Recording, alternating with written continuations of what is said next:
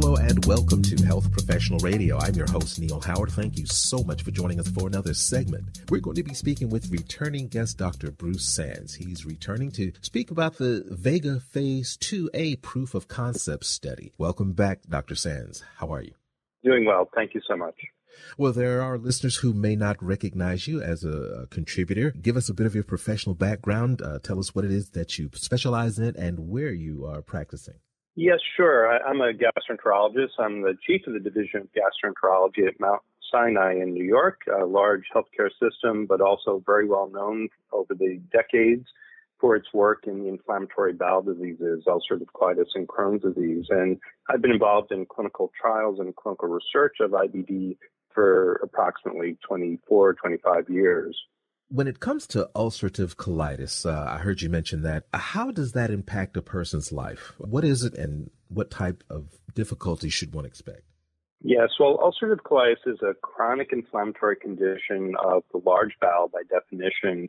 Uh, it can involve any proportion of the bowel, though typically involves the uh, distal part of the large bowel and may proceed to involve all of the large bowel. And because of the mucosal inflammation and ulceration, uh, patients experience usually bloody diarrhea, cramping, and a number of extra uh, intestinal manifestations such as fatigue, arthralgias, joint aches, and uh, many other uh, difficult issues to deal with. What's the current treatment landscape for this condition? You know, historically we had uh, very conventional agents like the 5-amino salicylates, which do work for mild to moderately severe disease for a proportion of patients. But many patients progress to need a course or more of corticosteroids. And once that occurs, uh, their trajectory of their disease is often not very good and uh, a relatively high proportion requiring total proctocolectomy and the J pouch um, if they don't respond. Mm-hmm. In the last few decades, we've had the anti TNF antibodies, uh, which clearly revolutionized the treatment of patients with ulcerative colitis and are quite effective, but not uniformly for everyone. And even more recently, we have the addition of uh, of vedolizumab, an anti-alpha 4 beta 7 integrin antibody, so another biologic agent, as well as ustekinumab, which is an anti-IL-12 and 23 antibody. And finally, we have uh, JAK inhibitor, uh, which is tofacitinib, which is used only for patients refractory to anti-TNF antibodies. Mm-hmm. And very, very recently, just in the last year, we have the, the approval of an oral medication, which is an S1P1 receptor modulator. Um, that's a class of agents that has been used in multiple sclerosis, but this is uh, this drug ozanimod is the first one approved for use in ulcerative colitis. So we have an array of different treatments, mm-hmm. um, but the issue is any one of these treatments will not treat 100% of patients. So we still have patients who are refractory to any number of these therapies. Uh, is that a, a, high number of such patients? Is, is there a huge unmet need in that area? There, there is a large unmet need in, in two respects. One is that we see that some patients, while they may initially respond, there, there can be gradual loss of response mm-hmm. to a single agent over time. And even beyond that, we have uh, a substantial number of patients who don't respond to any one of these agents as a primary therapy. So it's primary non-response and secondary loss of response and then most difficult, we have people who are refractory to multiple serial agents who then have no recourse other than a total proctocolectomy. As lead investigator uh, on the Vega Phase 2A study, give us some insight into the why of this study and some of the major findings. Yeah, the, the why of this study is a general sense in the field that we're seeing a plateauing of efficacy of single agents, that there's again, a proportion of patients who we just cannot touch with one agent or who over time lose response.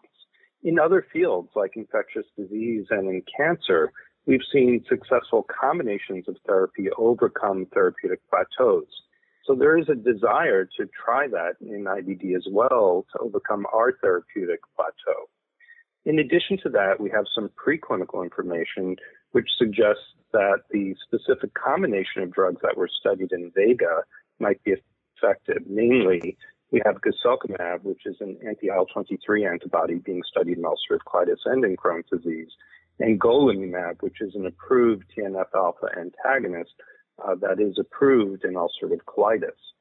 Um, those two agents, when you study them, uh, these two different kinds of agents in an animal model, a mouse model of colitis, there seems to be synergistic or at least additive efficacy. And if you look in silico at what you achieve uh, in expression arrays by blocking both TNF and IL-23, you see that the effect is synergistic, including on a number of different networks that either either one of the single therapies don't actually hit, but yet might be important for the treatment of IBD. Mm-hmm. So those are all the whys.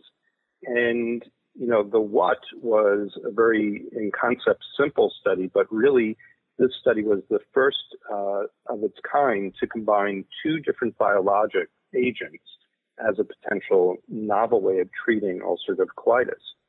So basically, you had a one-to-one randomization of patients to standard golimumab monotherapy, that's the anti-TNF, guselkumab monotherapy, uh, that's the anti-IL-23, or to the combination of both of them. And then patients were followed out to week 12, and the primary endpoint was clinical response. But we also looked at a number of other important clinical outcomes and, of course, safety.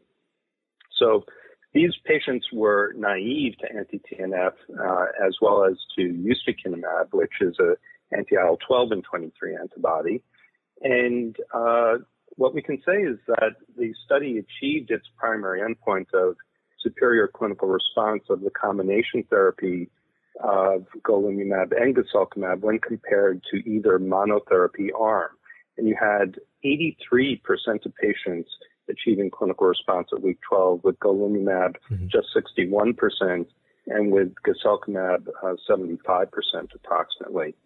But as you look at more and more stringent outcomes like clinical remission and endoscopic improvement, you can see that there's um, almost a doubling of the of the endoscopic improvement rate, and you see um, quite a bit more benefit in achieving clinical remission at week 12.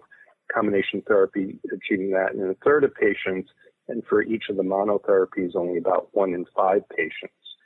Uh, and then finally, um, a very rigorous endpoint is um, a composite out, outcome of histologic remission and endoscopic improvement. So we have microscopic improvement and macroscopic endoscopic improvement in the same patient. Very tough to achieve.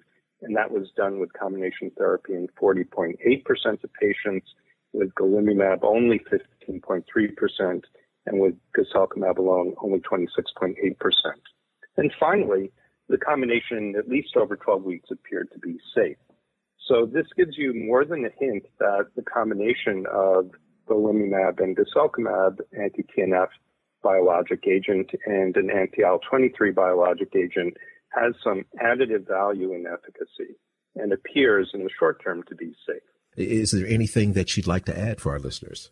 Yes, well, I, I, think it's going to be important to see if these results uh, hold out in the longer term as we continue to follow these patients on combinations. There is a maintenance uh, phase which really reverts to monotherapy with either the anti-TNF or with guselkumab, um, and to see how that plays out over time. I think it's more broadly important for the field because it brings a new concept of combining agents that have synergy or additive value to see if we can overcome this therapeutic plateau, not just for ulcerative colitis, but also for Crohn's disease, the other major form of IBD. So time will tell in future studies, which are planned, whether uh, this uh, specific combination is going to prove to be safe and beneficial. Well, I appreciate you lending us some more of your time. Thanks so much for returning, Dr. Sands. It's been a pleasure speaking with you as always. I'm looking forward to our next conversation. Thanks so much, Neil. You've been listening to Health Professional Radio. I'm your host, Neil Howard, in conversation with returning guest Dr. Bruce Sands. Audio copies of this program are available at hpr.fm and healthprofessionalradio.com.au. You can also subscribe to the podcast on iTunes, listen in, download at SoundCloud, and be sure and subscribe to our YouTube channel at youtube.com Health Professional Radio.